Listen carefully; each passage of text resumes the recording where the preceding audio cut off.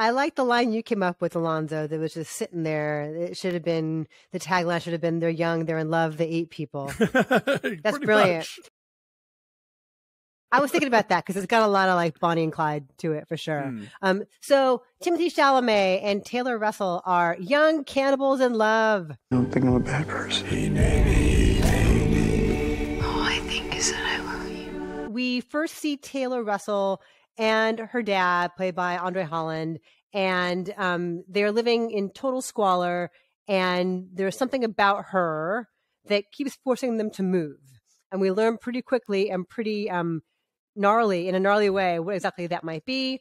She goes on the run, meets up with Mark Rylance, eventually meets up with Timothée Chalamet, and they all have this thing about themselves. They can smell each other. They sense this thing in each other that they are cannibals. And it is this grungy story of crime and romance as these two people from very disparate backgrounds who have this vital thing in common, like cling to each other desperately and quickly for survival. And they go on the run. And um, there's a, a shocking amount of romanticism to it for a film that is so bloody and so violent, like shockingly violent. Like, you know, if you have seen Luca's Suspiria, you know, he, which is also written by um, David Kajganich, who wrote this as well, and also wrote A Bigger Splash. Um, he'll lull you in with gorgeous imagery and it's it's really vivid and it's tactile and then like something really shocking happens something really bloody happens and so it's it's this mixture of romance and violence and um, i don't love this but i admire a lot about the weird places that it goes i never knew what to expect i like the two of them together they have sort of a a melancholy, wistful kind of longing, and you just know that like this thing is doomed. This thing that has fortified them, no pun intended, ultimately cannot last, and so that kind of lingers throughout. And uh, I like the use of music and just sort of the the sense of place of all the grungy towns that they end up in on their road trip. They go through like Kentucky and Iowa and Nebraska at one point, Minnesota eventually. There's not really a sense of condescension toward these places, but it just feels like this is where they feel the most comfortable, laying low and daring to have a dream of happiness, like normalcy and happiness in society, which clearly they cannot achieve. So I liked a lot about it, but I don't love it the way I love like Call Me by Your Name or Suspiria. Uh, yeah, I didn't love this either in that I hated it. Um, You hated it? I kind of hated it. Yeah, it was sort of like, all right, I see that we're what we're doing here. This is like Badlands, basically. Mm-hmm. This is the sort of amour fou of you know this couple who are on the run, and you know it's everything's very sort of sun dappled and gorgeous, but they are you know at odds with the world and we'll never find peace within that world.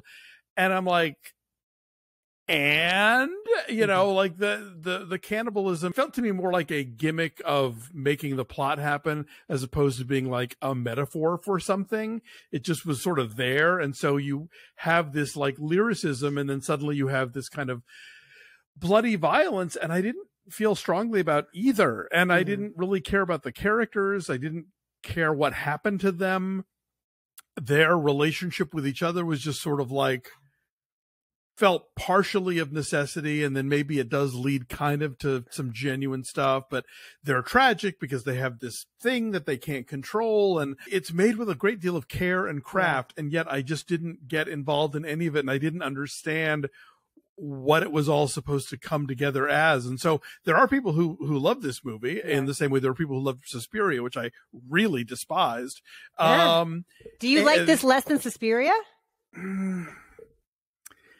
it's hard to say. Suspiria made me actively angry, and this movie just sort of like I just never got why we were bothering with any of it. You know, like I am love. I still mm-hmm. think is a masterpiece, mm-hmm. and I love Call Me by Your Name. I love um, a Bigger Splash. But uh, I, I, you know, and I, I want to see the Salvatore Ferragamo documentary mm-hmm. he just did. But mm-hmm. this and Suspiria, I'm like, I don't.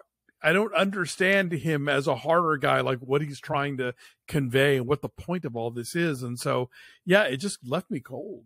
With Suspiria, I suspect it's more of like an exercise in style.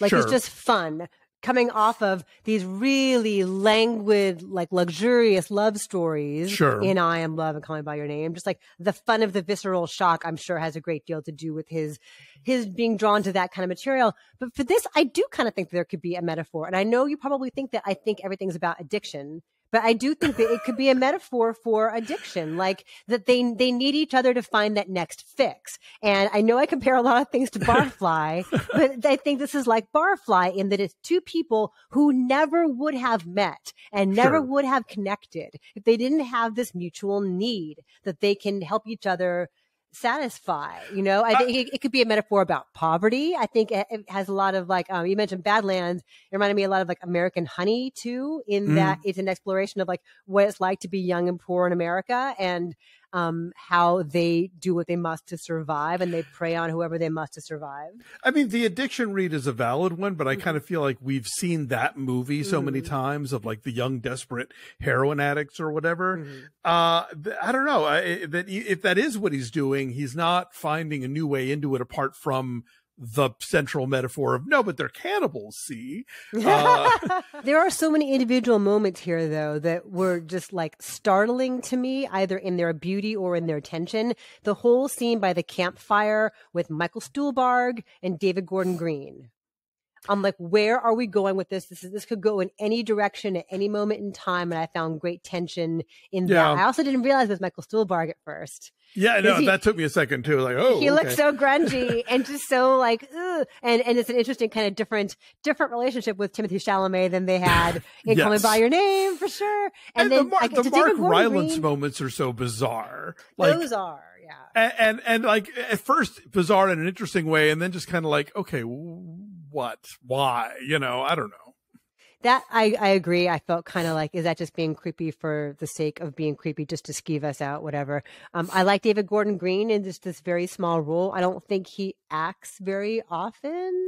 Uh, he does not, but he Mhm. was going to make the Suspiria remake at one point, if you recall. Oh, and then he did the Halloween movies instead. Yeah, like he was all set through Suspiria, and then Guadagnino wound up doing getting it instead. So they must have met and bonded at some point in that process, I guess. I Oh, that's know. interesting. And then like Trent Reznor and Atticus Ross did the score. And so mm-hmm. it's it's very moody as far as like putting you on edge and creating a sense of mystery. I think they're they're really good at, at that in understated ways. So I like the music, I like the look of it, the costume design, you know, they are really good together. They have an interesting chemistry with each other because it's just it's so sad. Like you know that they can't be happy. You know that they- Right. there's no happily ever after for these people. No, I, I I did like the two of them, and I would like to Mm-hmm. see Chalamet and Russell in another film because I think they have interesting, you know, uh, an interesting back and forth, and and and I don't know if chemistry is necessarily the word here, Yeah. but they they do interact in a way that's really interesting.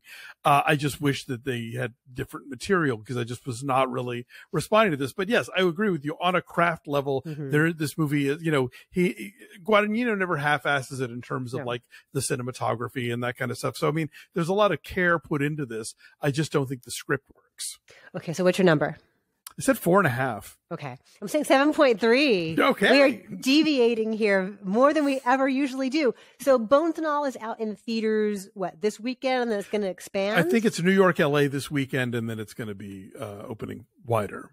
All right, you guys, sink your teeth into it and let us know.